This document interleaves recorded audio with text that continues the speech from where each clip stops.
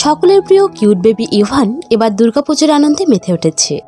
পুজোর প্রতিটি দিন ইভান পরিবারের সঙ্গে অনেক মজা করে কাটিয়েছেন। যার প্রতিটি বিষয় শুভশ্রী শেয়ার করেছেন ভক্তদের সাথে।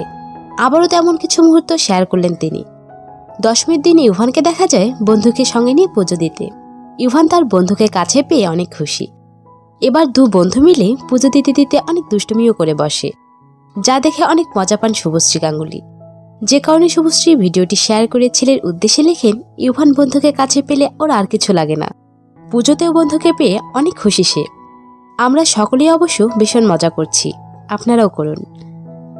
তো বন্ধুরা, ইউভান ও তার বন্ধুর দুষ্টু মিষ্টি মুহূর্তগুলো দেখে আপনার কেমন লেগেছে তা অবশ্যই কমেন্ট করে জানাবেন। এবং প্রতিদিন নতুন নতুন ভিডিও পেতে অবশ্যই চ্যানেলটিকে সাবস্ক্রাইব করবেন। ভিডিওটি শেষ পর্যন্ত দেখার জন্য ধন্যবাদ।